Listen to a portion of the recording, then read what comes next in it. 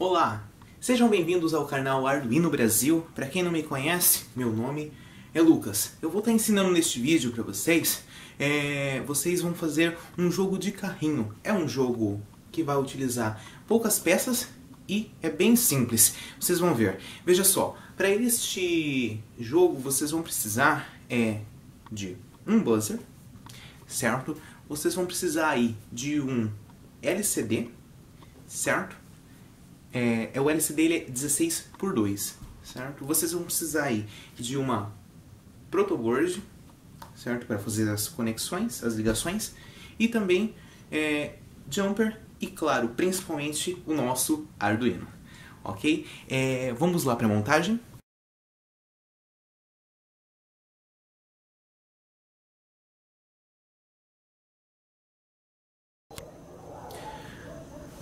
Olá gente, a montagem, é, vocês podem observar que ele já está praticamente montado, mas não se preocupem que essa montagem que está pronto aqui do nosso LCD 16x2, ele vai estar tá uma imagem é, na descrição desse vídeo, é só vocês seguir ele que vocês chegam exatamente nesta montagem. E aqui eu vou estar tá ensinando vocês apenas a conectarem os nossos potenciômetros e o buzzer no Arduino e também é, uma ligação que fazemos, é, uma conexão que fazemos do nosso potenciômetro no LCD para regular contraste. É, o meu potenciômetro ele é um pouco diferente de vocês, mas na, no decorrer do vídeo vocês vão observar que não é difícil fazer porque eu vou falar em primeiro, segundo e terceiro terminal. Vai estar tá na, também na imagem já conectado lá os potenciômetros e o buzzer. Inclusive eu estou seguindo aqui é, na imagem para explicar para vocês. Vamos começar com os potenciômetros.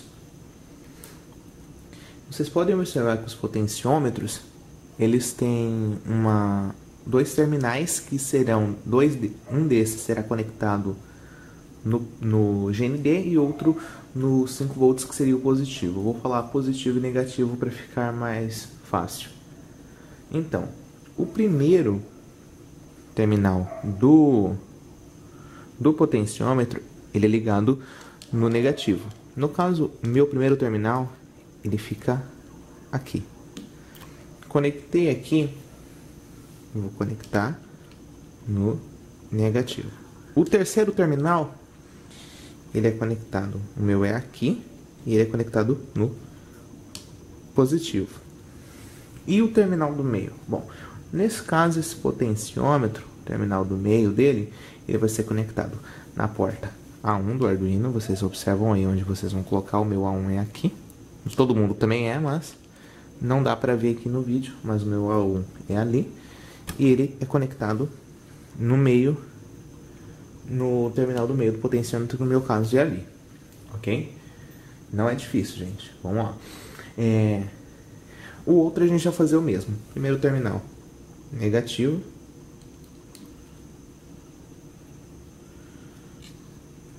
Ok, escolha aqui um negativo. Segundo terminal, o perdão, o terceiro terminal é positivo, conecta no positivo. E o terminal do meio, que o meu é aqui, ele vai ser conectado no terminal 3, ok? Do LCD, vou colocar aqui na frente, ok? Ele é conectado no terminal 3 do nosso LCD. Por fim, nós vamos conectar o nosso buzzer. É, ele vai também ele tem um positivo e um negativo.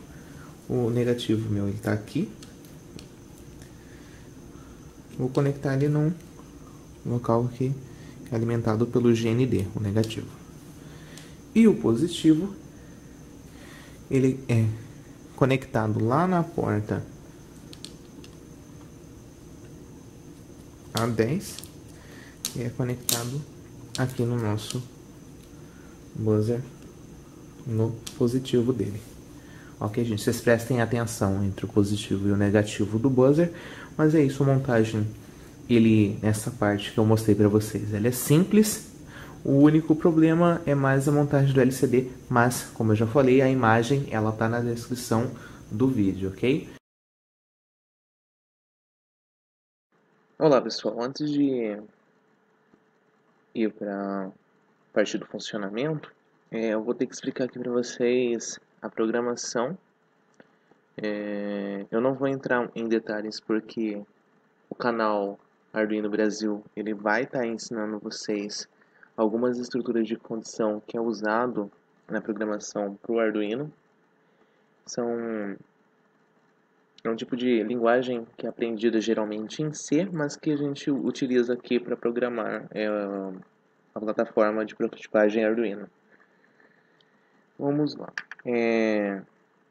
Aqui a gente vai começar com declarações.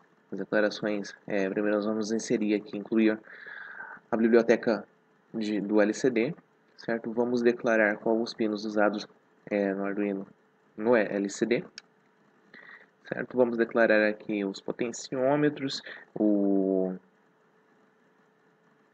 nosso nossa buzininha, é, que é nosso buzzer.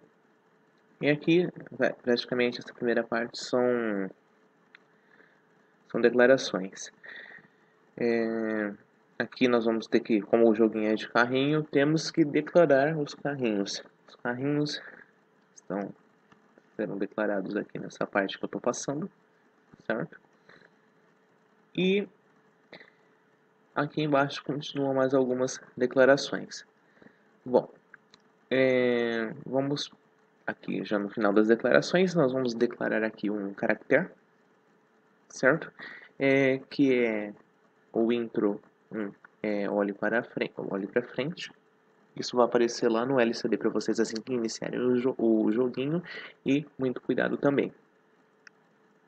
Ok, com uma introdução aí de 2 é, segundos para iniciar o jogo. Bom, aqui no Void Setup nós vamos mexer aí com for, algumas estruturas de condições, né? Aqui um incremento, certo?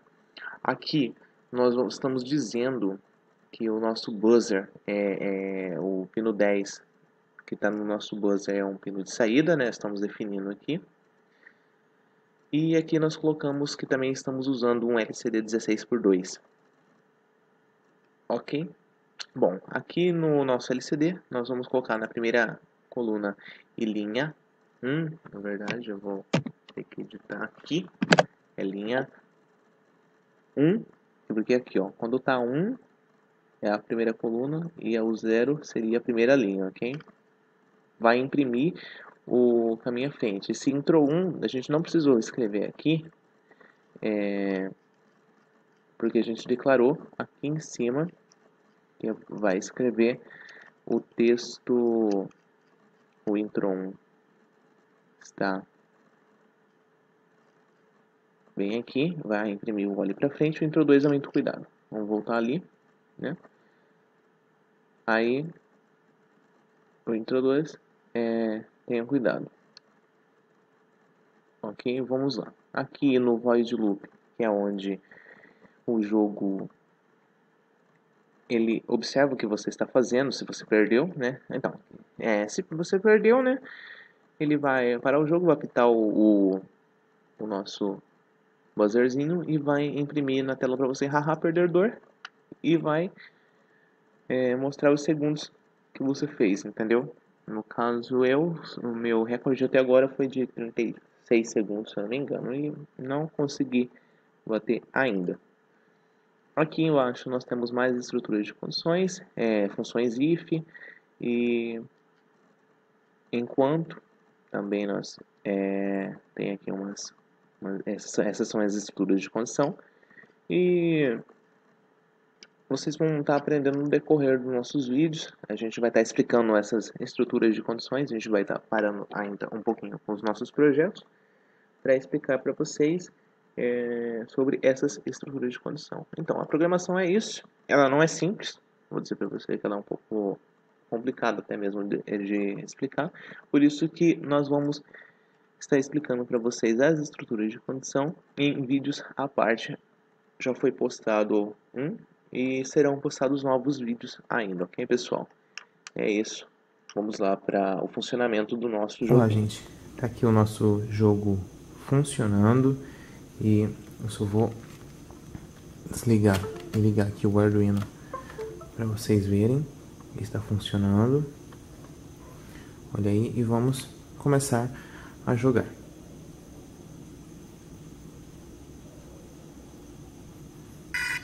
Ok. Ali eu perdi, né? Isso porque eu não girei aqui o potenciômetro rapidamente. Mas eu vou mostrar para vocês, né? Se for só uma demonstração, ainda vou desligar mais uma vez e ligar novamente. No caso, vocês podem apertar o botão reset do Arduino que ele funciona, ok? Vamos lá jogar. Esse primeiro carrinho, no caso, é nós, certo? O meu recorde até agora foi de 34 segundos, sou muito ruim nisso aqui. E eu acho que eu... Não, não perdi.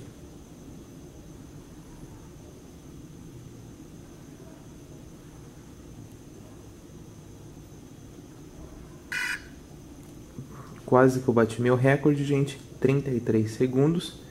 E como vocês podem observar, eu sou um perdedor.